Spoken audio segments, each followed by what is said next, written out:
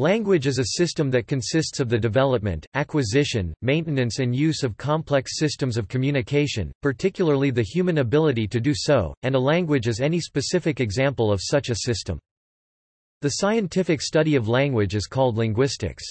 Questions concerning the philosophy of language, such as whether words can represent experience, have been debated at least since Gorgias and Plato in ancient Greece. Thinkers such as Rousseau have argued that language originated from emotions while others like Kant have held that it originated from rational and logical thought. 20th-century philosophers such as Wittgenstein argued that philosophy is really the study of language. Major figures in linguistics include Ferdinand de Saussure and Noam Chomsky. Estimates of the number of human languages in the world vary between 5,000 and 7,000. However, any precise estimate depends on a partly arbitrary distinction between languages and dialects. Natural languages are spoken or signed, but any language can be encoded into secondary media using auditory, visual, or tactile stimuli, for example, in whistling, signed, or braille. This is because human language is modality independent. Depending on philosophical perspectives regarding the definition of language and meaning, when used as a general concept, language may refer to the cognitive ability to learn and use systems of complex communication, or to describe the set of rules that makes up these systems, or the set of utterances that can be produced from those rules. All languages rely on the process of semiosis to relate signs to particular meanings. Oral, manual and tactile languages contain a phonological system that governs how symbols are used to form sequences known as words or morphemes, and a syntactic system that governs how words and morphemes are combined to form phrases and utterances. Human language has the properties of productivity and displacement, and relies entirely on social convention and learning. Its complex structure affords a much wider range of expressions than any known system of animal communication. Language is thought to have originated when early hominins started gradually changing their primate communication systems, acquiring the ability to form a theory of other minds and a shared intentionality. This development is sometimes thought to have coincided with an increase in brain volume, and many linguists see the structures of language as having evolved to serve specific communicative and social functions. Language is processed in many different locations in the human brain, but especially in Broca's and Wernicke's areas. Humans acquire language through social interaction in early childhood, and children generally speak fluently by approximately three years old. The use of language is deeply entrenched in human culture. Therefore, in addition to its strictly communicative uses, language also has many social and cultural uses, such as signifying group identity, social stratification, as well as social grooming and entertainment. Languages evolve and diversify over time, and the history of their evolution can be reconstructed by comparing modern languages to determine which traits their ancestral languages must have had in order for the later developmental stages to occur. A group of languages that descend from a common ancestor is known as a language family. The Indo-European family is the most widely spoken and includes languages as diverse as English, Russian and Hindi. The Sino-Tibetan family includes Mandarin, Bodo and the other Chinese languages, and Tibetan. The Afro-Asiatic family includes Arabic, Somali, and Hebrew. The Bantu languages include Swahili and Zulu, and hundreds of other languages spoken throughout Africa, and the Malayo-Polynesian languages include Indonesian, Malay, Tagalog, and hundreds of other languages spoken throughout the Pacific. The languages of the Dravidian family, spoken mostly in southern India, include Tamil Telugu and Kannada. Academic consensus holds that between 50% and 90% of languages spoken at the beginning of the 21st century will probably have become extinct by the year 2100.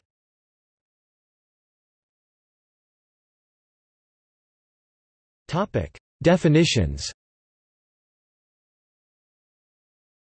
The English word language derives ultimately from Proto-Indo-European dn, way s, tongue, speech, language, through Latin lingua, language, tongue, and Old French language. The word is sometimes used to refer to codes, ciphers, and other kinds of artificially constructed communication systems such as formally defined computer languages used for computer programming. Unlike conventional human languages, a formal language in this sense is a system of signs for encoding and decoding information. This article specifically concerns the properties of natural human language as it is studied in the discipline of linguistics. As an object of linguistic study, language has two primary meanings, an abstract concept, and a specific linguistic system, e.g. French. The Swiss linguist Ferdinand de Saussure, who defined the modern discipline of linguistics, first explicitly formulated the distinction using the French word langage for language as a concept, langue as a specific instance of a language system, and parole for the concrete usage of speech in a particular language. When speaking of language as a general concept, definitions can be used which stress different aspects of the phenomenon. These definitions also entail different approaches and understandings of language, and they also inform different and often incompatible schools of linguistic theory. Debates about the nature and origin of language go back to the ancient world. Greek philosophers such as Gorgias and Plato debated the relation between words, concepts and reality. Gorgias argued that language could represent neither the objective experience nor human experience, and that communication and truth were therefore impossible. Plato maintained that communication is possible because language represents ideas and concepts that exist independently of, and prior to, language. During the Enlightenment and its debates about human origins, it became fashionable to speculate about the origin of language. Thinkers such as Rousseau and Herder argued that language had originated in the instinctive expression of emotions, and that it was originally closer to music and poetry than to the logical expression of rational thought.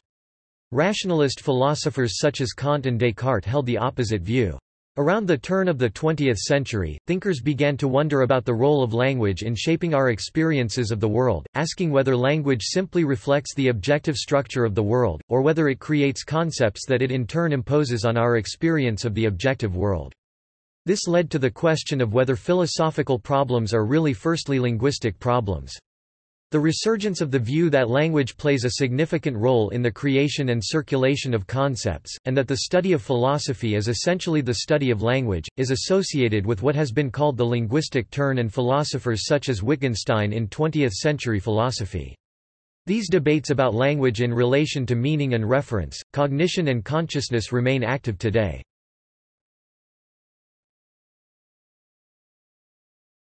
Topic: Mental faculty, organ or instinct One definition sees language primarily as the mental faculty that allows humans to undertake linguistic behavior, to learn languages and to produce and understand utterances. This definition stresses the universality of language to all humans, and it emphasizes the biological basis for the human capacity for language as a unique development of the human brain. Proponents of the view that the drive to language acquisition is innate in humans argue that this is supported by the fact that all cognitively normal children raised in an environment where language is accessible will acquire language without formal instruction. Languages may even develop spontaneously in environments where people live or grow up together without a common language, for example, Creole languages and spontaneously developed sign languages such as Nicaraguan Sign Language. This view, which can be traced back to the philosophers Kant and Descartes, understands language to be largely innate, for example, in Chomsky's theory of universal grammar, or American philosopher Jerry Fodor's extreme innatist theory. These kinds of definitions are often applied in studies of language within a cognitive science framework and in neurolinguistics.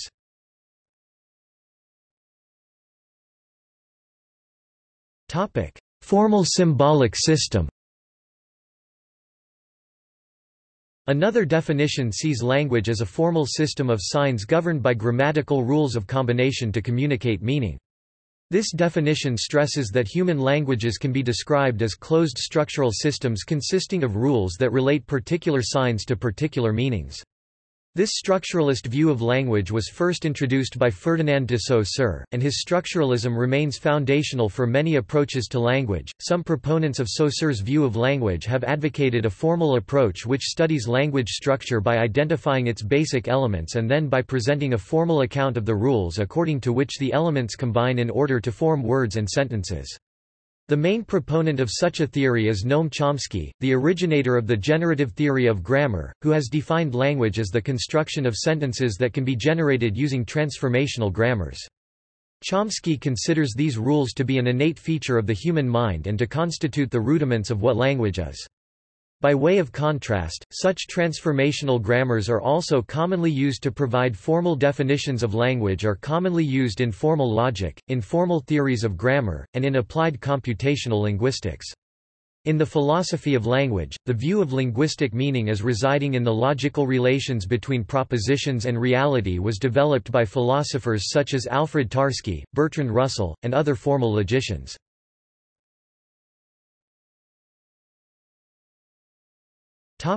Tool for communication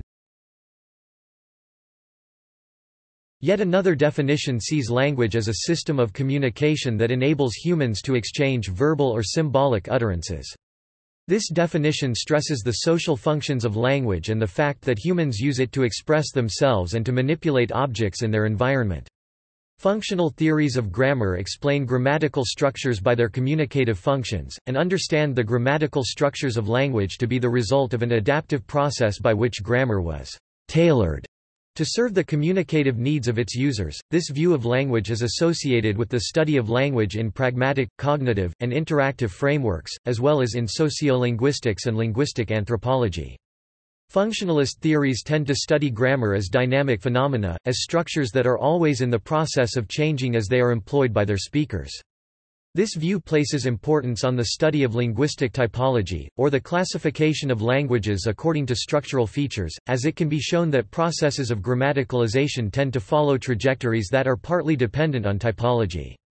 In the philosophy of language, the view of pragmatics as being central to language and meaning is often associated with Wittgenstein's later works and with ordinary language philosophers such as J. L. Austin, Paul Grice, John Searle, and W. O. Quine.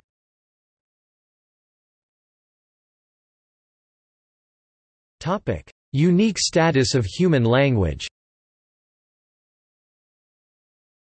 A number of features, many of which were described by Charles Hockett and called design features set human language apart from other known systems of communication, such as those used by non-human animals.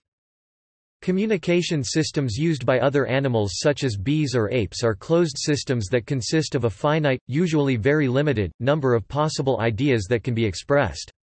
In contrast, human language is open-ended and productive, meaning that it allows humans to produce a vast range of utterances from a finite set of elements, and to create new words and sentences.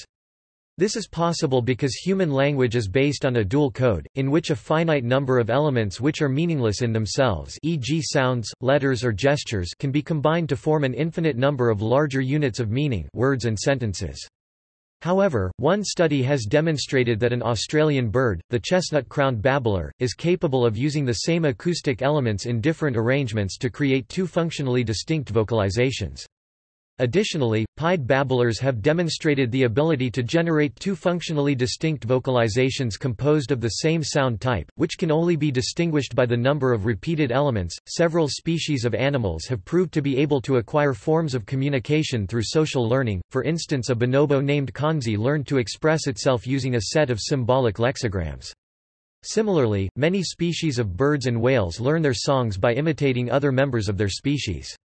However, while some animals may acquire large numbers of words and symbols, none have been able to learn as many different signs as are generally known by an average four-year-old human, nor have any acquired anything resembling the complex grammar of human language. Human languages also differ from animal communication systems in that they employ grammatical and semantic categories, such as noun and verb, present and past, which may be used to express exceedingly complex meanings.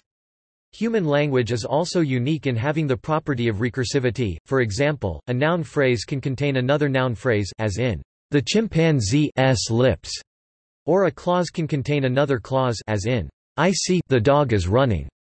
Human language is also the only known natural communication system whose adaptability may be referred to as modality independent. This means that it can be used not only for communication through one channel or medium, but through several. For example, spoken language uses the auditive modality, whereas sign languages and writing use the visual modality, and braille writing uses the tactile modality. Human language is also unique in being able to refer to abstract concepts and to imagined or hypothetical events as well as events that took place in the past or may happen in the future. This ability to refer to events that are not at the same time or place as the speech event is called displacement, and while some animal communication systems can use displacement such as the communication of bees that can communicate the location of sources of nectar that are out of sight, the degree to which it is used in human language is also considered unique.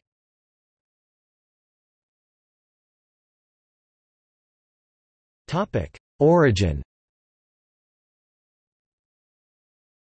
Theories about the origin of language differ in regard to their basic assumptions about what language is. Some theories are based on the idea that language is so complex that one cannot imagine it simply appearing from nothing in its final form, but that it must have evolved from earlier pre-linguistic systems among our pre-human ancestors. These theories can be called continuity-based theories. The opposite viewpoint is that language is such a unique human trait that it cannot be compared to anything found among non-humans and that it must therefore have appeared suddenly in the transition from pre-hominids to early man. These theories can be defined as discontinuity-based. Similarly, theories based on the generative view of language pioneered by Noam Chomsky see language mostly as an innate faculty that is largely genetically encoded, whereas functionalist theories see it as a system that is largely cultural, learned through social interaction. Chomsky is one prominent proponent of a discontinuity-based theory of human language origins. He suggests that for scholars interested in the nature of language, talk about the evolution of the language capacity is beside the point. Chomsky proposes that perhaps, "...some random mutation took place and it reorganized the brain, implanting a language organ in an otherwise primate brain." Though cautioning against taking this story literally, Chomsky insists that, "...it may be closer to reality than many other fairy tales that are told about evolutionary processes, including language." Continuity-based theories are held by a majority of scholars, but they vary in how they envision this development.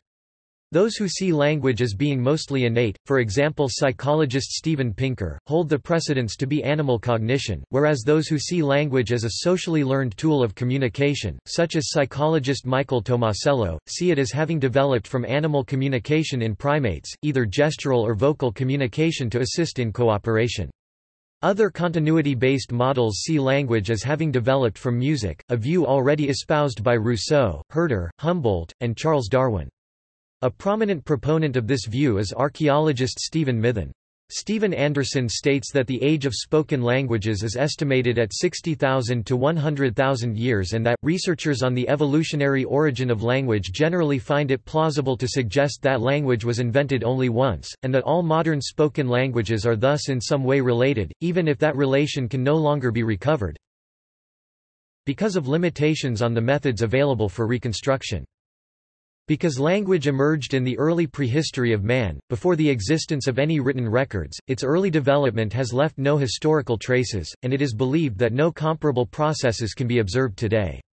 Theories that stress continuity often look at animals to see if, for example, primates display any traits that can be seen as analogous to what pre-human language must have been like.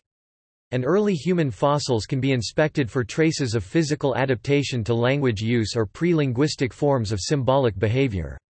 Among the signs in human fossils that may suggest linguistic abilities are, the size of the brain relative to body mass, the presence of a larynx capable of advanced sound production and the nature of tools and other manufactured artifacts. It was mostly undisputed that pre-human australopithecines did not have communication systems significantly different from those found in great apes in general.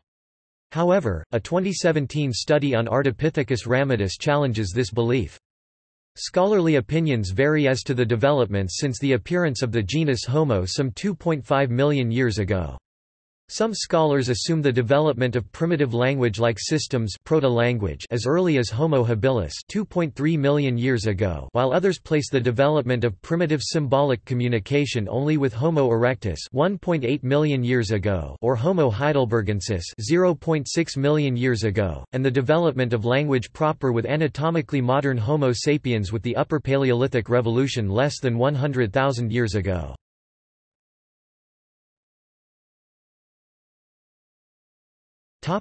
Study The study of language, linguistics, has been developing into a science since the first grammatical descriptions of particular languages in India more than 2,000 years ago, after the development of the Brahmi script. Modern linguistics is a science that concerns itself with all aspects of language, examining it from all of the theoretical viewpoints described above.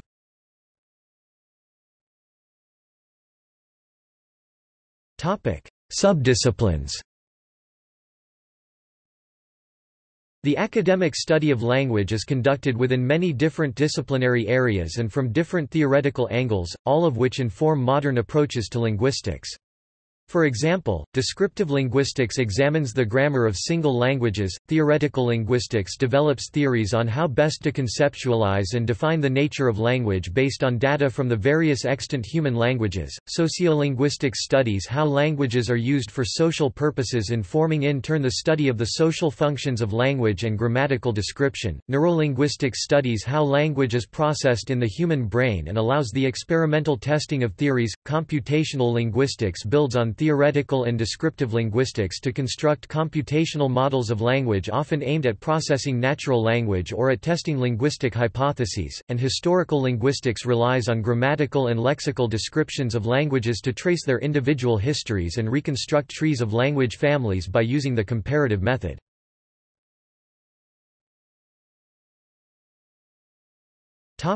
Early history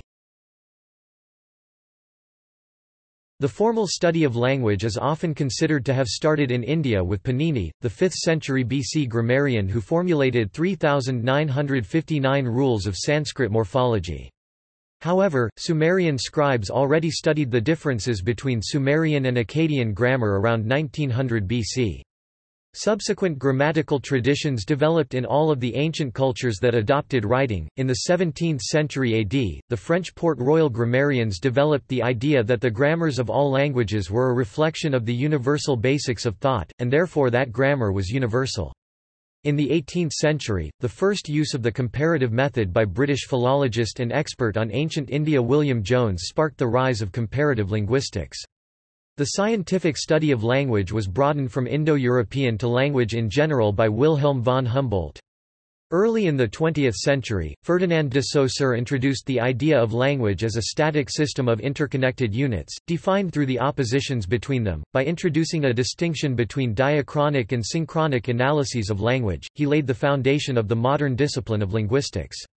Saussure also introduced several basic dimensions of linguistic analysis that are still fundamental in many contemporary linguistic theories, such as the distinctions between syntagm and paradigm, and the langue-parole distinction, distinguishing language as an abstract system langue, from language as a concrete manifestation of this system parole.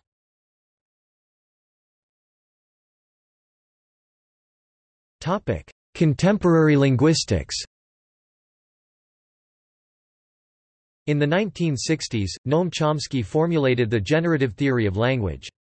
According to this theory, the most basic form of language is a set of syntactic rules that is universal for all humans and which underlies the grammars of all human languages. This set of rules is called universal grammar, for Chomsky, describing it as the primary objective of the discipline of linguistics.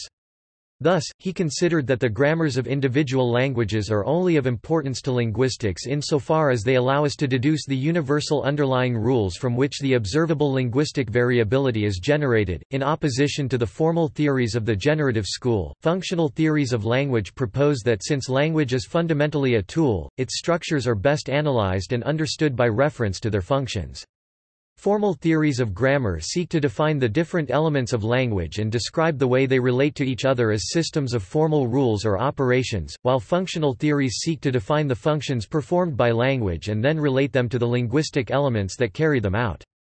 The framework of cognitive linguistics interprets language in terms of the concepts which are sometimes universal, and sometimes specific to a particular language which underlie its forms. Cognitive linguistics is primarily concerned with how the mind creates meaning through language.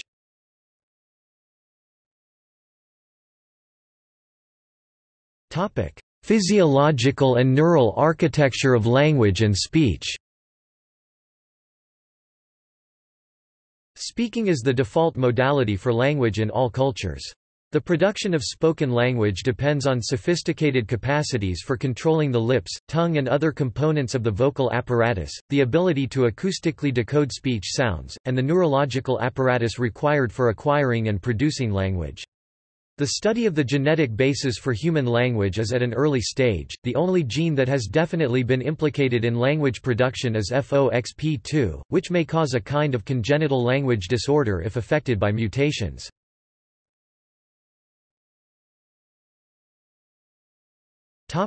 The brain The brain is the coordinating center of all linguistic activity, it controls both the production of linguistic cognition and of meaning and the mechanics of speech production. Nonetheless, our knowledge of the neurological basis for language is quite limited, though it has advanced considerably with the use of modern imaging techniques. The discipline of linguistics dedicated to studying the neurological aspects of language is called neurolinguistics. Early work in neurolinguistics involved the study of language in people with brain lesions, to see how lesions in specific areas affect language and speech. In this way, neuroscientists in the 19th century discovered that two areas in the brain are crucially implicated in language processing. The first area is Wernicke's area, which is in the posterior section of the superior temporal gyrus in the dominant cerebral hemisphere. People with a lesion in this area of the brain develop receptive aphasia, a condition in which there is a major impairment of language comprehension, while speech retains a natural-sounding rhythm and a relatively normal sentence structure. The second area is Broca's area, in the posterior inferior frontal gyrus of the dominant hemisphere. People with a lesion to this area develop expressive aphasia, meaning that they know what they want to say, they just cannot get it out. They are typically able to understand what is being said to them, but unable to speak fluently. Other symptoms that may be present in expressive aphasia include problems with fluency, articulation, word finding, word repetition, and producing and comprehending complex grammatical sentences, both orally and in writing. Those with this aphasia also exhibit ungrammatical speech and show inability to use syntactic information to determine the meaning of sentences. Both expressive and receptive aphasia also affect the use of sign language, in analogous ways to how they affect speech, with expressive aphasia causing signers to sign slowly and with incorrect grammar, whereas a signer with receptive aphasia will sign fluently, but make little sense to others and have difficulties comprehending others' signs.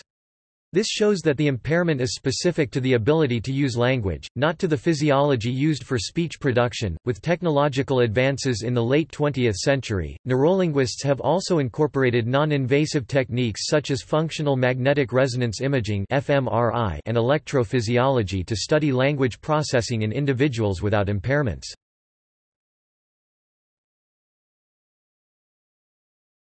Topic: Anatomy of speech.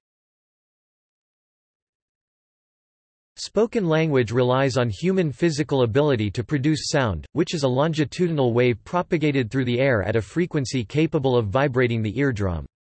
This ability depends on the physiology of the human speech organs. These organs consist of the lungs, the voice box larynx, and the upper vocal tract, the throat, the mouth, and the nose. By controlling the different parts of the speech apparatus, the airstream can be manipulated to produce different speech sounds. The sound of speech can be analyzed into a combination of segmental and suprasegmental elements. The segmental elements are those that follow each other in sequences, which are usually represented by distinct letters in alphabetic scripts, such as the Roman script. In free-flowing speech, there are no clear boundaries between one segment and the next, nor usually are there any audible pauses between words. Segments therefore are distinguished by their distinct sounds which are a result of their different articulations, and they can be either vowels or consonants. Suprasegmental phenomena encompass such elements as stress, phonation type, voice timbre, and prosody or intonation, all of which may have effects across multiple segments. Consonants and vowel segments combine to form syllables, which in turn combine to form utterances. These can be distinguished phonetically as the space between two inhalations. Acoustically, these different segments are characterized by different formant structures, that are visible in a spectrogram of the recorded sound wave see illustration of spectrogram of the formant structures of three English vowels. Formants are the amplitude peaks in the frequency spectrum of a specific sound, vowels are those sounds that have no audible friction caused by the narrowing or obstruction of some part of the upper vocal tract. They vary in quality according to the degree of lip aperture and the placement of the tongue within the oral cavity. Vowels are called close when the lips are relatively closed, as in the pronunciation of the vowel I English, e, or open when the lips are relatively open, as in the vowel a English, ah. If the tongue is located towards the back of the mouth, the quality changes, creating vowels such as u English, u. The quality also changes depending on whether the lips are rounded as opposed to unrounded, creating distinctions such as that between i unrounded front vowel such as English e and y rounded front vowels such as German u. Consonants are those sounds that have audible friction or closure at some point within the upper vocal tract. Consonant sounds vary by place of articulation, i.e. the place in the vocal tract where the airflow is obstructed, commonly at the lips, teeth, alveolar ridge, palate, velum, uvula, or glottis. Each place of articulation produces a different set of consonant sounds, which are further distinguished by manner of articulation, or the kind of friction, whether full closure, in which case the consonant is called occlusive or stop, or different degrees of aperture creating fricatives and approximants. Consonants can also be either voiced or unvoiced, depending on whether the vocal cords are set in vibration by airflow during the production of the sound. Voicing is what separates English s in bus unvoiced sibilant from z in buzz voiced sibilant. Some speech sounds, both vowels and consonants, involve release of air flow through the nasal cavity, and these are called nasals or nasalized sounds. Other sounds are defined by the way the tongue moves within the mouth, such as the L sounds called laterals, because the air flows along both sides of the tongue, and the R sounds called rhotics that are characterized by how the tongue is positioned relative to the airstream. By using these speech organs, humans can produce hundreds of distinct sounds, some appear very often in the world's languages, whereas others are much more common in certain language families, language areas, or even specific to a single language.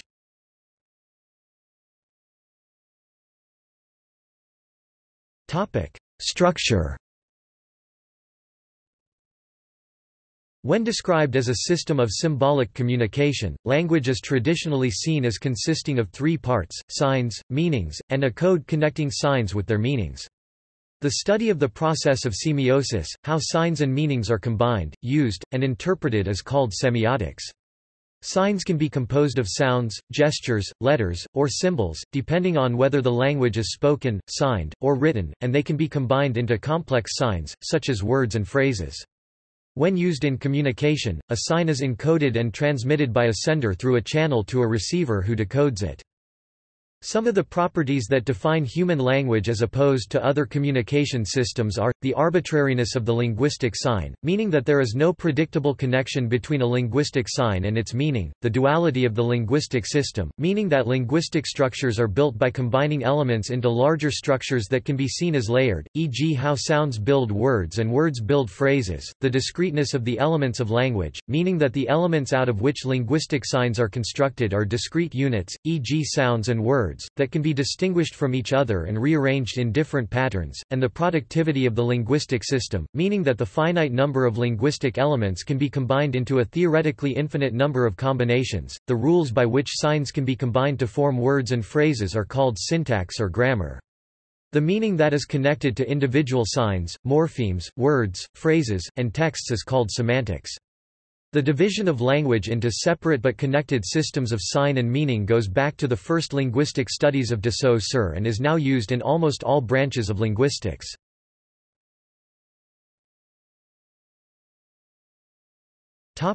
Semantics Languages express meaning by relating a sign form to a meaning, or its content.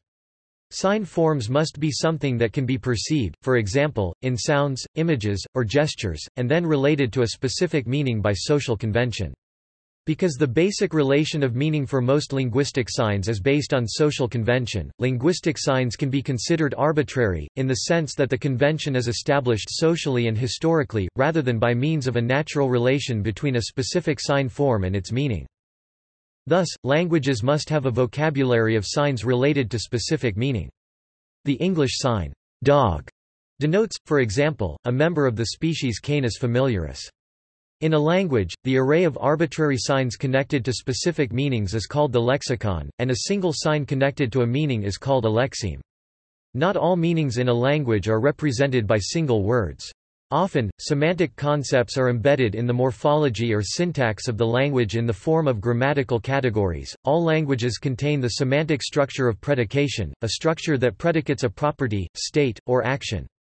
Traditionally, semantics has been understood to be the study of how speakers and interpreters assign truth values to statements, so that meaning is understood to be the process by which a predicate can be said to be true or false about an entity, e.g., x is y, or X does Y.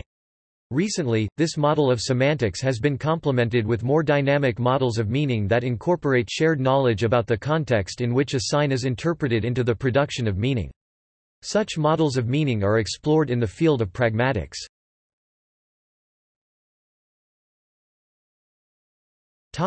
Sounds and symbols Depending on modality, language structure can be based on systems of sounds speech, gestures sign languages, or graphic or tactile symbols writing. The ways in which languages use sounds or signs to construct meaning are studied in phonology. The study of how humans produce and perceive vocal sounds is called phonetics. In spoken language, meaning is produced when sounds become part of a system in which some sounds can contribute to expressing meaning and others do not. In any given language, only a limited number of the many distinct sounds that can be created by the human vocal apparatus contribute to constructing meaning. Sounds as part of a linguistic system are called phonemes. Phonemes are abstract units of sound, defined as the smallest units in a language that can serve to distinguish between the meaning of a pair of minimally different words, a so-called minimal pair. In English, for example, the words bat, bat and pat pat form a minimal pair, in which the distinction between b and p differentiates the two words, which have different meanings. However, each language contrasts sounds in different ways. For example, in a language that does not distinguish between voiced and unvoiced consonants, the sounds p and b if they both occur could be considered a single phoneme, and consequently, the two pronunciations would have the same meaning. Similarly, the English language does not distinguish phonemically between aspirated and non-aspirated pronunciations of consonants, as many other languages like Korean and Hindi do. The unaspirated p in spin (spn) and the aspirated p in pin pn are considered to be merely different ways of pronouncing the same phoneme. Such variants of a single phoneme are called allophones, whereas in Mandarin Chinese, the same difference in pronunciation distinguishes between the words pa acute crouch and pa 8. The accent above the means that the vowel is pronounced with a high tone. All spoken languages have phonemes of at least two different categories, vowels and consonants, that can be combined to form syllables. As well as segments such as consonants and vowels, some languages also use sound in other ways to convey meaning. Many languages, for example, use stress, pitch, duration, and tone to distinguish meaning. Because these phenomena operate outside of the level of single segments, they are called suprasegmental. Some languages have only a few phonemes, for example, Rotokas and Piraha language with 11 and 10 phonemes respectively, whereas languages like Taa may have as many as 141 phonemes. In sign languages, the equivalent to phonemes formerly called are defined by the basic elements of gestures, such as hand shape, orientation, location, and motion, which correspond to manners of articulation in spoken language. Writing systems represent language using visual symbols, which may or may not correspond to the sounds of spoken language. The Latin alphabet and those on which it is based or that have been derived from it was originally based on the representation of single sounds, so that words were constructed from letters that generally denote a single consonant or vowel in the structure of the word.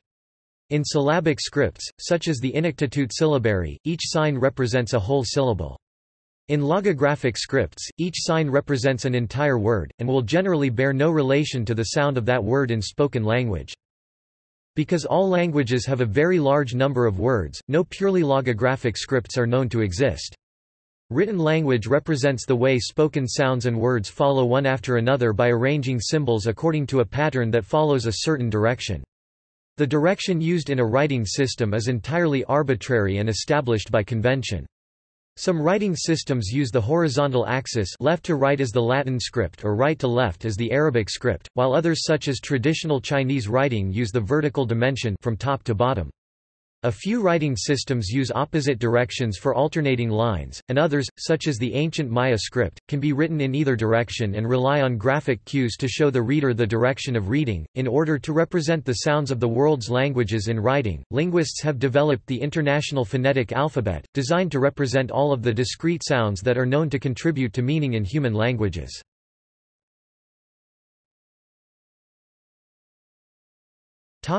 Grammar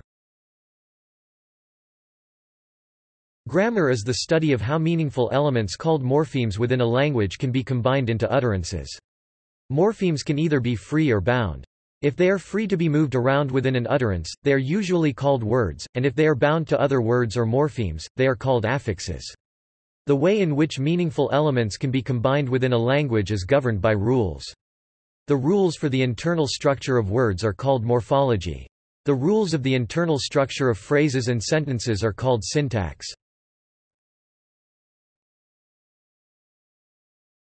Topic: Grammatical categories. Grammar can be described as a system of categories and a set of rules that determine how categories combine to form different aspects of meaning. Languages differ widely in whether they are encoded through the use of categories or lexical units. However, several categories are so common as to be nearly universal. Such universal categories include the encoding of the grammatical relations of participants and predicates by grammatically distinguishing between their relations to a predicate, the encoding of temporal and spatial relations on predicates, and a system of grammatical person governing reference to and distinction between speakers and addressees and those about whom they are speaking.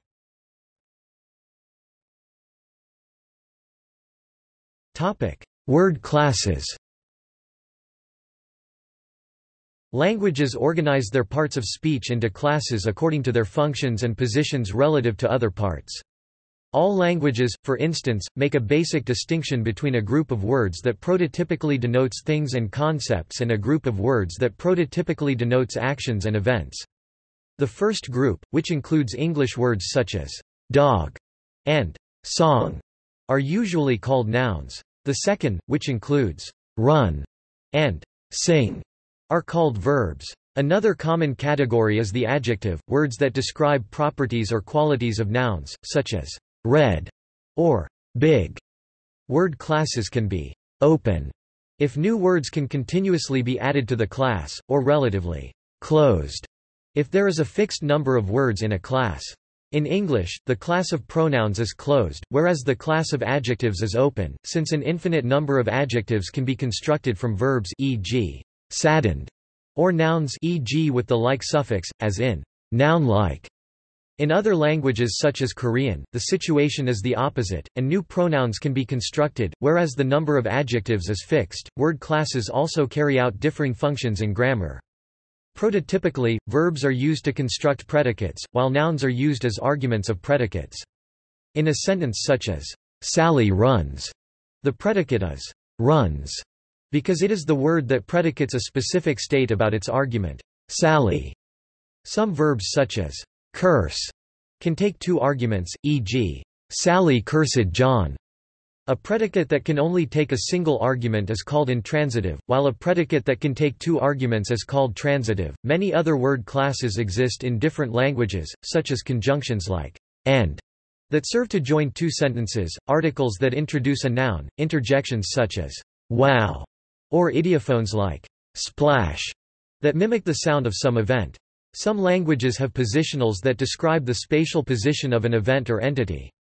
Many languages have classifiers that identify countable nouns as belonging to a particular type or having a particular shape. For instance, in Japanese, the general noun classifier for humans is nin, ren and it is used for counting humans, whatever they are called. San nin no gakusei san ren no shui sheng lit. Three human classifier of student. Three students for trees, it would be Sanbon no ki Sanben no mu lit. Three classifier for long objects of tree. Three trees. Topic: Morphology. In linguistics, the study of the internal structure of complex words and the processes by which words are formed is called morphology. In most languages, it is possible to construct complex words that are built of several morphemes. For instance, the English word, unexpected, can be analyzed as being composed of the three morphemes, un, expect, and ed. Morphemes can be classified according to whether they are independent morphemes, so-called roots, or whether they can only co-occur attached to other morphemes. These bound morphemes or affixes can be classified according to their position in relation to the root, prefixes precede the root, suffixes follow the root, and infixes are inserted in the middle of a root. Affixes serve to modify or elaborate the meaning of the root. Some languages change the meaning of words by changing the phonological structure of a word, for example, the English word run, which in the past tense is ran. This process is called ablaut. Furthermore, morphology distinguishes between the process of inflection, which modifies or elaborates on a word, and the process of derivation, which creates a new word from an existing one. In English, the verb sing has the inflectional forms singing and sung. which are both verbs, and the derivational form singer, which is a noun derived from the verb with the agentive suffix er. Languages differ widely in how much they rely on morphological processes of word formation. In some languages, for example, Chinese, there are no morphological processes, and all grammatical information is encoded syntactically by forming strings of single words. This type of morpho-syntax is often called isolating, or analytic, because there is almost a full correspondence between a single word and a single aspect of meaning. Most languages have words consisting of several morphemes, but they vary in the degree to which morphemes are discrete units. In many languages, notably in most Indo-European languages, single morphemes may have several distinct meanings that cannot be analyzed into smaller segments. For example, in Latin, the word bonus, or good, consists of the root bon, meaning good, and the suffix us, which indicates masculine gender, singular number, and nominative case. These languages are called fusional languages, because several meanings may be fused into a single morpheme.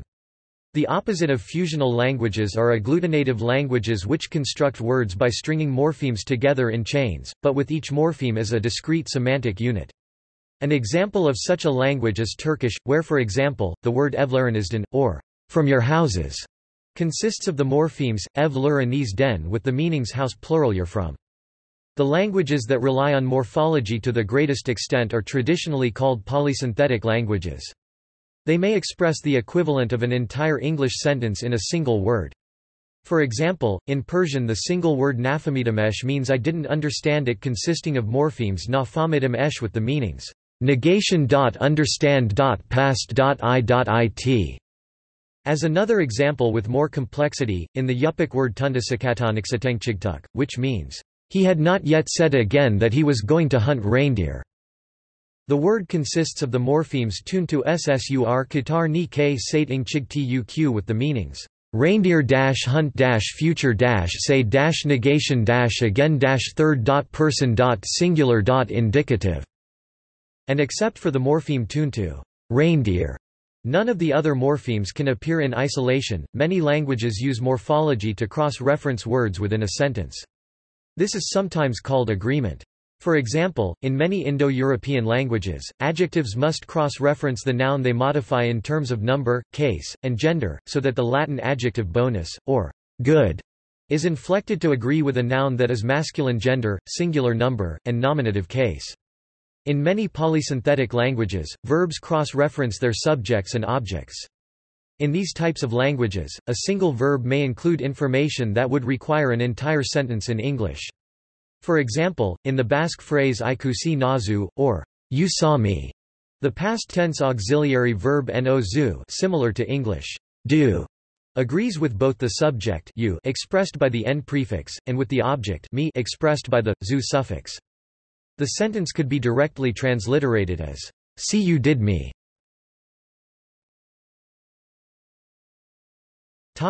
Syntax Another way in which languages convey meaning is through the order of words within a sentence. The grammatical rules for how to produce new sentences from words that are already known is called syntax. The syntactical rules of a language determine why a sentence in English such as, I love you, is meaningful, but asterisk love you I is not. Syntactical rules determine how word order and sentence structure is constrained, and how those constraints contribute to meaning.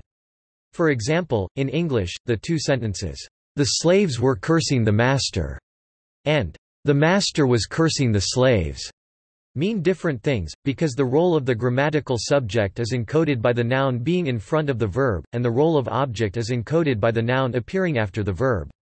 Conversely, in Latin, both dominus servos vituperabat and servos vituperabat dominus mean, "...the master was reprimanding the slaves", because servos, or slaves, is in the accusative case, showing that they are the grammatical object of the sentence, and dominus, or master, is in the nominative case, showing that he is the subject. Latin uses morphology to express the distinction between subject and object, whereas English uses word order.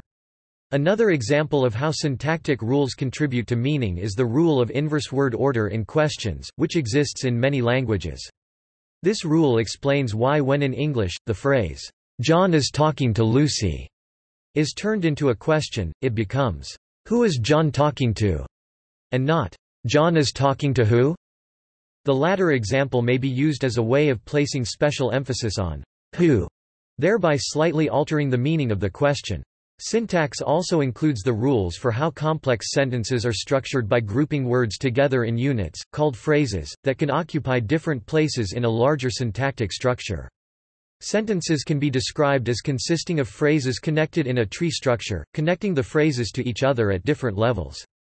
To the right is a graphic representation of the syntactic analysis of the English sentence, "The cat sat on the mat."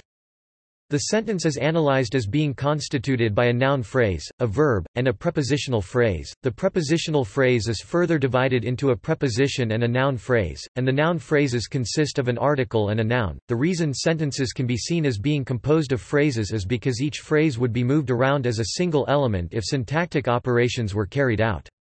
For example, the cat is one phrase, and on the mat is another, because they would be treated as single units if a decision was made to emphasize the location by moving forward the prepositional phrase, and on the mat, the cat sat. There are many different formalist and functionalist frameworks that propose theories for describing syntactic structures, based on different assumptions about what language is and how it should be described. Each of them would analyze a sentence such as this in a different manner.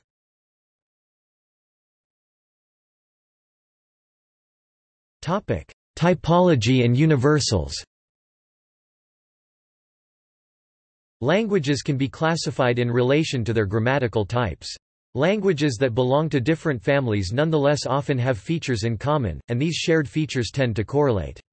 For example, languages can be classified on the basis of their basic word order, the relative order of the verb, and its constituents in a normal indicative sentence. In English, the basic order is SVO the snake s bit v the man o Whereas for example, the corresponding sentence in the Australian language Gamilaraay would be d, uyugu n, ama d, ein y snake man bit, sov. Word order type is relevant as a typological parameter, because basic word order type corresponds with other syntactic parameters, such as the relative order of nouns and adjectives, or of the use of prepositions or postpositions. Such correlations are called implicational universals. For example, most but not all languages that are of the SOV type have postpositions rather than prepositions, and have adjectives before nouns. All languages structure sentences into subject, verb, and object, but languages differ in the way they classify the relations between actors and actions. English uses the nominative accusative word typology. In English transitive clauses, the subjects of both intransitive sentences, I run and transitive sentences, I love you, are treated in the same way, shown here by the nominative pronoun I. Some languages, called ergative, Gamilaraay among them, distinguish instead between agents and patients. In ergative languages, the single participant in an intransitive sentence, such as, I run, is treated the same as the patient in a transitive sentence, giving the equivalent of, me run.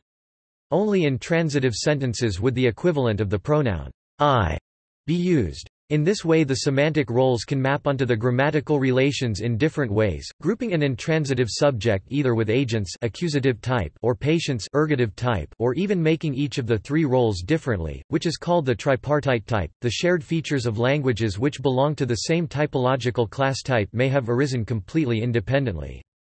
Their co-occurrence might be due to universal laws governing the structure of natural languages, language universals, or they might be the result of languages evolving convergent solutions to the recurring communicative problems that humans use language to solve.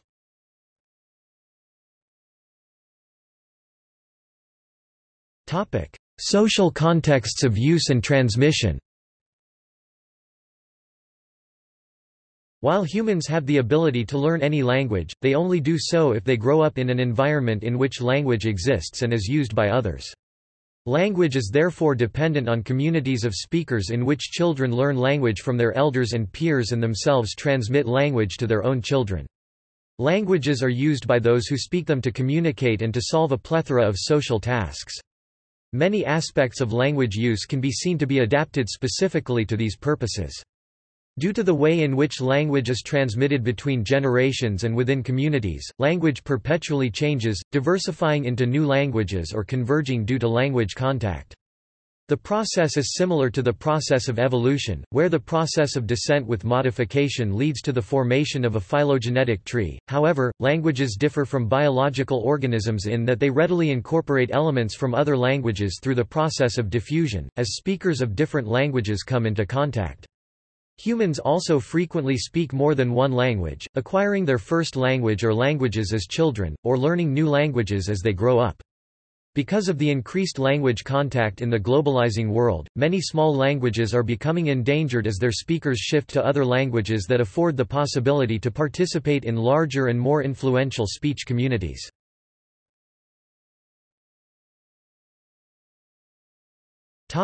Usage and meaning The semantic study of meaning assumes that meaning is in a relation between signs and meanings that are firmly established through social convention. However, semantics does not study the way in which social conventions are made and affect language. Rather, when studying the way in which words and signs are used, it is often the case that words have different meanings, depending on the social context of use. An important example of this is the process called deixis, which describes the way in which certain words refer to entities through their relation between a specific point in time and space when the word is uttered. Such words are, for example, the word I, which designates the person speaking, now, which designates the moment of speaking, and here, which designates the position of speaking. Signs also change their meanings over time, as the conventions governing their usage gradually change. The study of how the meaning of linguistic expressions changes depending on context is called pragmatics. Deixis is an important part of the way that we use language to point out entities in the world. Pragmatics is concerned with the ways in which language use is patterned and how these patterns contribute to meaning. For example, in all languages, linguistic expressions can be used not just to transmit information, but to perform actions. Certain actions are made only through language, but nonetheless have tangible effects, e.g. the act of naming, which creates a new name for some entity, or the act of pronouncing someone man and wife, which creates a social contract of marriage. These types of acts are called speech acts, although they can also be carried out through writing or hand signing. The form of linguistic expression often does not correspond to the meaning that it actually has in a social context. For example, if at a dinner table a person asks, "'Can you reach the salt?' That is, in fact, not a question about the length of the arms of the one being addressed, but a request to pass the salt across the table. This meaning is implied by the context in which it is spoken. These kinds of effects of meaning are called conversational implicatures. These social rules for which ways of using language are considered appropriate in certain situations and how utterances are to be understood in relation to their context vary between communities, and learning them is a large part of acquiring communicative competence in a language.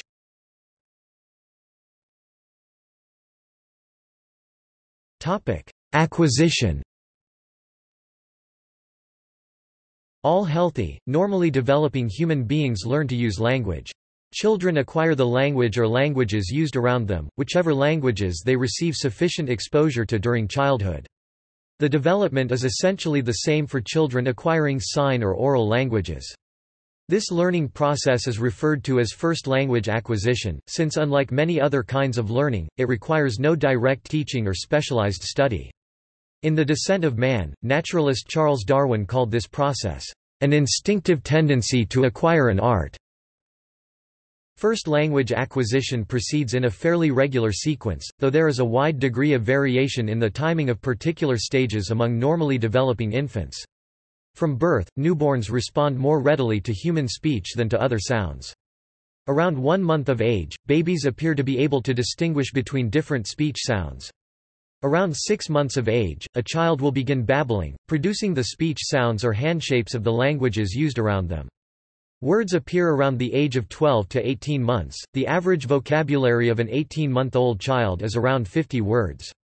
A child's first utterances are holophrases literally, whole sentences, utterances that use just one word to communicate some idea. Several months after a child begins producing words, he or she will produce two-word utterances, and within a few more months will begin to produce telegraphic speech, or short sentences that are less grammatically complex than adult speech, but that do show regular syntactic structure. From roughly the age of 3 to 5 years, a child's ability to speak or sign is refined to the point that it resembles adult language. Studies published in 2013 have indicated that unborn fetuses are capable of language acquisition to some degree. Acquisition of second and additional languages can come at any age, through exposure in daily life or courses. Children learning a second language are more likely to achieve native-like fluency than adults, but in general, it is very rare for someone speaking a second language to pass completely for a native speaker. An important difference between first language acquisition and additional language acquisition is that the process of additional language acquisition is influenced by languages that the learner already knows.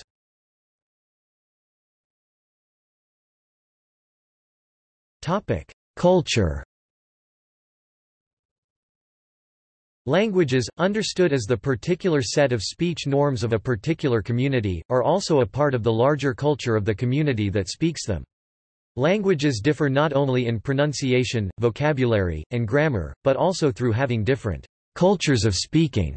Humans use language as a way of signaling identity with one cultural group as well as difference from others. Even among speakers of one language, several different ways of using the language exist, and each is used to signal affiliation with particular subgroups within a larger culture. Linguists and anthropologists, particularly sociolinguists, ethnolinguists, and linguistic anthropologists have specialized in studying how ways of speaking vary between speech communities. Linguists use the term varieties to refer to the different ways of speaking a language. This term includes geographically or socioculturally defined dialects as well as the jargons or styles of subcultures. Linguistic anthropologists and sociologists of language define communicative style as the ways that language is used and understood within a particular culture. Because norms for language use are shared by members of a specific group, communicative style also becomes a way of displaying and constructing group identity. Linguistic differences may become salient markers of divisions between social groups, for example, speaking a language with a particular accent may imply membership of an ethnic minority or social class, one's area of origin, or status as a second language speaker. These kinds of differences are not part of the linguistic system, but are an important part of how people use language as a social tool for constructing groups. However, many languages also have grammatical conventions that signal the social position of the speaker in relation to others through the use of registers that are related to social hierarchies or divisions. In many languages, there are stylistic or even grammatical differences between the ways men and women speak, between age groups, or between social classes, just as some languages employ different words depending on who is listening. For example, in the Australian language Dyirbal, a married man must use a special set of words to refer to everyday items when speaking in the presence of his mother-in-law. Some cultures, for example, have elaborate systems of social deixis, or systems of signaling social distance through linguistic means. In English, social deixis is shown mostly through distinguishing between addressing some people by first name and others by surname, and in titles such as Mrs. Boy, Doctor, or Your Honor. But in other languages, such systems may be highly complex and codified in the entire grammar and vocabulary of the language. For instance, in languages of East Asia such as Thai, Burmese, and Javanese, different words are used according to whether a speaker is addressing someone of higher or lower rank than oneself in a ranking system with animals and children ranking the lowest and gods and members of royalty as the highest.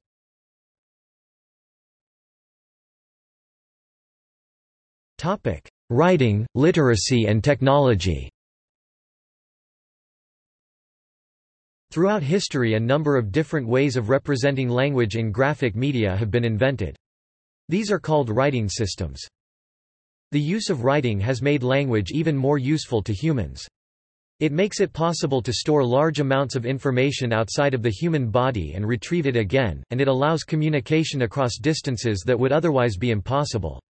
Many languages conventionally employ different genres, styles, and registers in written and spoken language, and in some communities, writing traditionally takes place in an entirely different language than the one spoken. There is some evidence that the use of writing also has effects on the cognitive development of humans, perhaps because acquiring literacy generally requires explicit and formal education. The invention of the first writing systems is roughly contemporary with the beginning of the Bronze Age in the late 4th millennium BC. The Sumerian archaic cuneiform script and the Egyptian hieroglyphs are generally considered to be the earliest writing systems, both emerging out of their ancestral proto-literate symbol systems from 3400–3200 BC with the earliest coherent texts from about 2600 BC. It is generally agreed that Sumerian writing was an independent invention, however, it is debated whether Egyptian writing was developed completely independently of Sumerian, or was a case of cultural diffusion. A similar debate exists for the Chinese script, which developed around 1200 BC. The pre-Columbian Mesoamerican writing systems including among others Olmec and Maya scripts are generally believed to have had independent origins.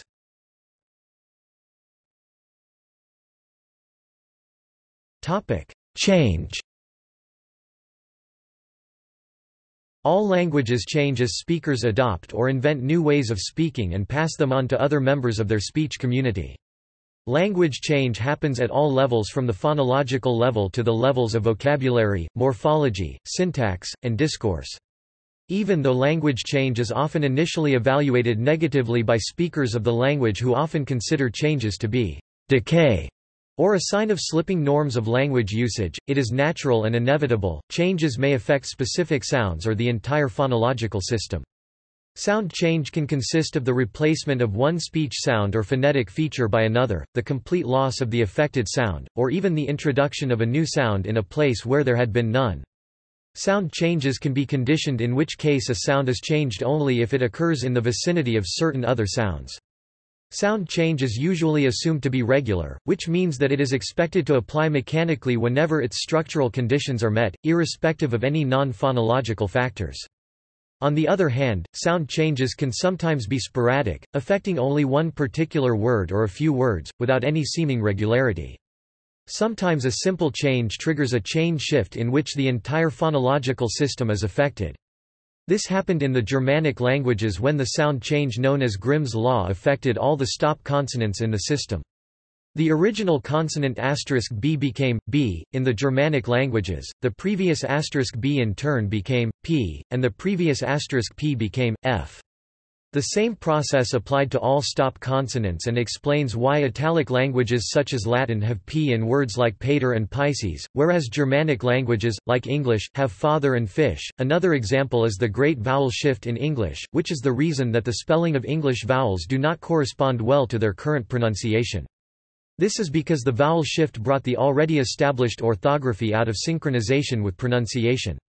Another source of sound change is the erosion of words as pronunciation gradually becomes increasingly indistinct and shortens words, leaving out syllables or sounds. This kind of change caused Latin mea domina to eventually become the French madam and American English ma'am. Change also happens in the grammar of languages as discourse patterns such as idioms or particular constructions become grammaticalized. This frequently happens when words or morphemes erode and the grammatical system is unconsciously rearranged to compensate for the lost element. For example, in some varieties of Caribbean Spanish the final, s, has eroded away. Since Standard Spanish uses final, s, in the morpheme marking the second-person subject, you, in verbs, the Caribbean varieties now have to express the second person using the pronoun tú. This means that the sentence, "'What's your name?' Is como te llamas? Como te llamas in Standard Spanish, but como tu te llama in Caribbean Spanish. The simple sound change has affected both morphology and syntax. Another common cause of grammatical change is the gradual petrification of idioms into new grammatical forms, for example, the way the English going to construction lost its aspect of movement and in some varieties of English has almost become a full-fledged future tense e.g. I'm gonna. Language change may be motivated by language internal factors, such as changes in pronunciation motivated by certain sounds being difficult to distinguish orally or to produce, or through patterns of change that cause some rare types of constructions to drift towards more common types. Other causes of language change are social, such as when certain pronunciations become emblematic of membership in certain groups, such as social classes, or with ideologies, and therefore are adopted by those who wish to identify with those groups or ideas. In this way, issues of identity and politics can have profound effects on language structure.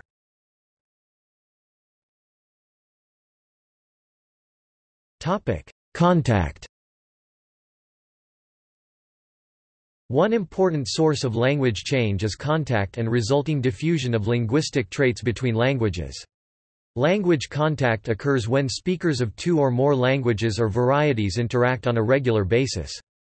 Multilingualism is likely to have been the norm throughout human history and most people in the modern world are multilingual.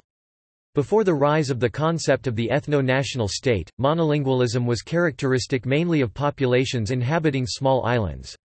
But with the ideology that made one people, one state, and one language the most desirable political arrangement, monolingualism started to spread throughout the world. Nonetheless, there are only 250 countries in the world corresponding to some 6,000 languages, which means that most countries are multilingual and most languages therefore exist in close contact with other languages. When speakers of different languages interact closely, it is typical for their languages to influence each other.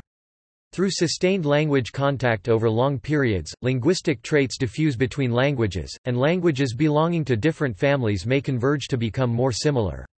In areas where many languages are in close contact, this may lead to the formation of language areas in which unrelated languages share a number of linguistic features. A number of such language areas have been documented, among them, the Balkan language area, the Mesoamerican language area, and the Ethiopian language area. Also, larger areas such as South Asia, Europe, and Southeast Asia have sometimes been considered language areas. Because of widespread diffusion of specific areal features, language contact may also lead to a variety of other linguistic phenomena, including language convergence, borrowing, and relexification replacement of much of the native vocabulary with that of another language. In situations of extreme and sustained language contact, it may lead to the formation of new mixed languages that cannot be considered to belong to a single language family. One type of mixed language called pidgins occurs when adult speakers of two different languages interact on a regular basis, but in a situation where neither group learns to speak the language of the other group fluently. In such a case, they will often construct a communication form that has traits of both languages, but which has a simplified grammatical and phonological structure. The language comes to contain mostly the grammatical and phonological categories that exist in both languages. Pidgin languages are defined by not having any native speakers, but only being spoken by people who have another language as their first language. But if a pidgin language becomes the main language of a speech community, then eventually children will grow up learning the pidgin as their first language. As the generation of child learners grow up, the pidgin will often be seen to change its structure and acquire a greater degree of complexity. This type of language is generally called a Creole language. An example of such mixed languages is Tok Pisin, the official language of Papua New Guinea, which originally arose as a pidgin based on English and Austronesian languages. Others are Kreyòl Ayisyen, the French-based Creole language spoken in Haiti, and Michif, a mixed language of Canada, based on the Native American language Cree and French.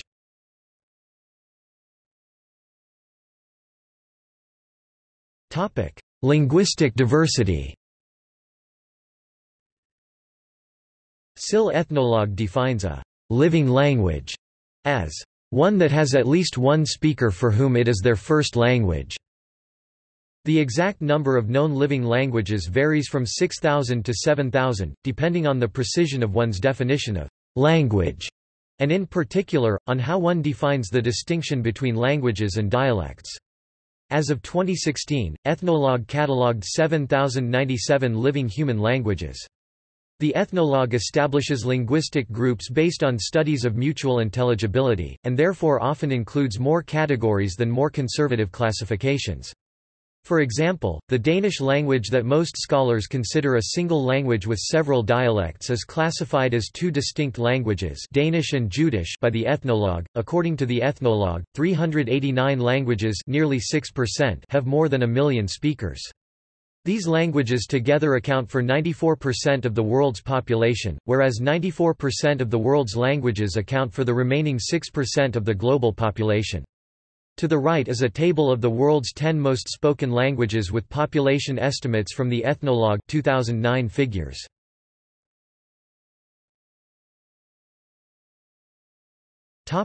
Languages and dialects There is no clear distinction between a language and a dialect, notwithstanding a famous aphorism attributed to linguist Max Weinreich that, "...a language is a dialect with an army and navy." For example, national boundaries frequently override linguistic difference in determining whether two linguistic varieties are languages or dialects. Hakka, Cantonese and Mandarin are, for example, often classified as dialects of Chinese, even though they are more different from each other than Swedish is from Norwegian. Before the Yugoslav Civil War, Serbo-Croatian was considered a single language with two dialects, but now Croatian and Serbian are considered different languages and employ different writing systems. In other words, the distinction may hinge on political considerations as much as on cultural differences, distinctive writing systems, or degree of mutual intelligibility.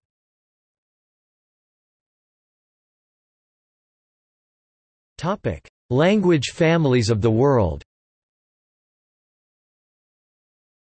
The world's languages can be grouped into language families consisting of languages that can be shown to have common ancestry. Linguists recognize many hundreds of language families, although some of them can possibly be grouped into larger units as more evidence becomes available and in-depth studies are carried out. At present, there are also dozens of language isolates, languages that cannot be shown to be related to any other languages in the world. Among them are Basque, spoken in Europe, Zuni of New Mexico, Purepecha of Mexico, Ainu of Japan, Burushaski of Pakistan, and many others. The language family of the world that has the most speakers is the Indo-European languages, spoken by 46% of the world's population. This family includes major world languages like English, Spanish, Russian, and Hindustani Hindi, Urdu. The Indo-European family achieved prevalence first during the Eurasian migration period c. 400 to 800 AD, and subsequently through the European colonial expansion, which brought the Indo-European languages to a politically and often numerically dominant position in the Americas and much of Africa. The Sino-Tibetan languages are spoken by 20% of the world's population and include many of the languages of East Asia, including Hakka, Mandarin Chinese, Cantonese, and hundreds of smaller languages. Africa is home to a large number of language families, the largest of which is the Niger-Congo language family, which includes such languages as Swahili, Shona, and Yoruba. Speakers of the Niger-Congo languages account for 6.9% of the world's population. A similar number of people speak the Afroasiatic languages, which include the populous Semitic languages such as Arabic, Hebrew language, and the languages of the Sahara region, such as the Berber languages and Hausa. The Austronesian languages are spoken by 5.5% of the world's population and stretch from Madagascar to maritime Southeast Asia all the way to Oceania. It includes such languages as Malagasy, Maori, Samoan, and many of the indigenous languages of Indonesia and Taiwan. The Austronesian languages are considered to have originated in Taiwan around 3000 BC and spread through the oceanic region through island hopping, based on an advanced nautical technology. Other populous language families are the Dravidian languages of South Asia among them Kannada Tamil and Telugu, the Turkic languages of Central Asia such as Turkish, the Austroasiatic among them Khmer, and Tai-Kadai languages of Southeast Asia including Thai, the areas of the world in which there is the greatest linguistic diversity, such as the Americas, Papua New Guinea, West Africa, and South Asia, contain hundreds of small language families. These areas together account for the majority of the world's languages, though not the majority of speakers. In the Americas, some of the largest language families include the Quechumaran, Arawak, and Tupi-Guarani families of South America, the Uto Aztecan, Oto Manguean, and Mayan of Mesoamerica, and the Na-Dene, Iroquoian, and Algonquian language families of North America. In Australia, most indigenous languages belong to the Pama-Nyungan family, whereas New Guinea is home to a large number of small families and isolates, as well as a number of Austronesian languages.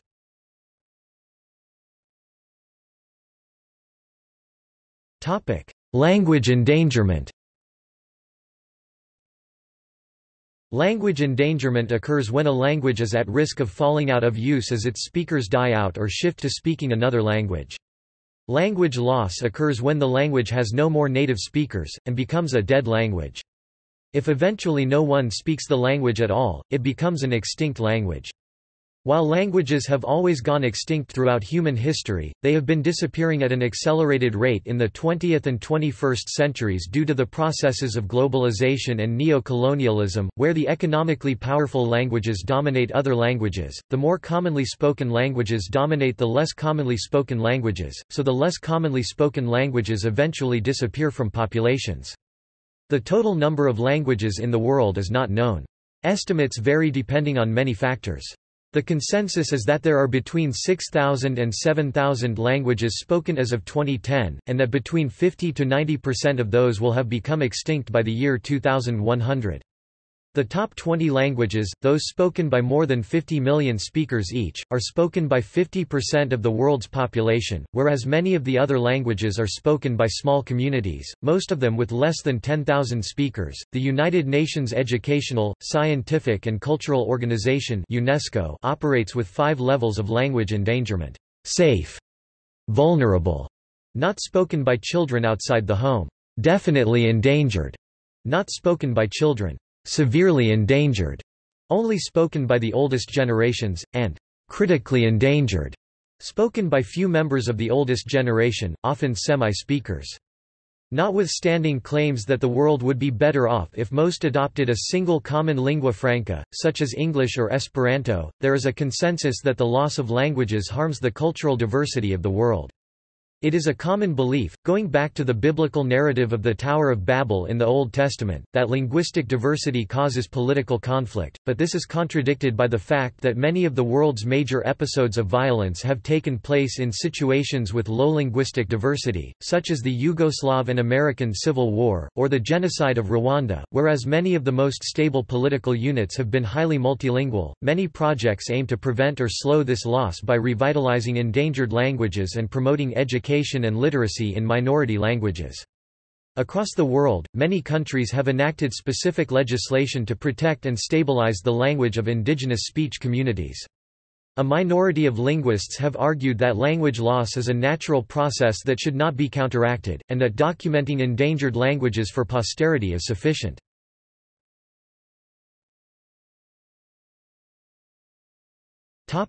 See also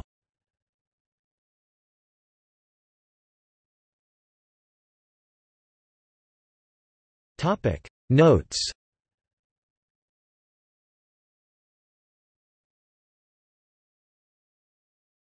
Topic. Commentary notes.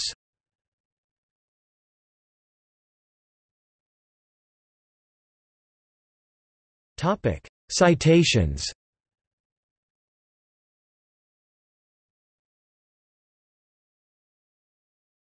Topic. Works cited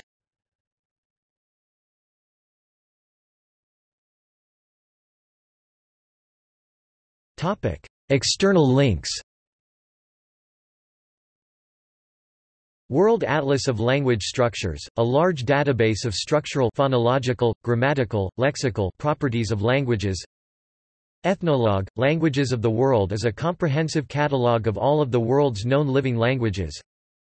Beth Skwarecki, "'Babies Learn to Recognize Words in the Womb' Science, 26 August 2013 2.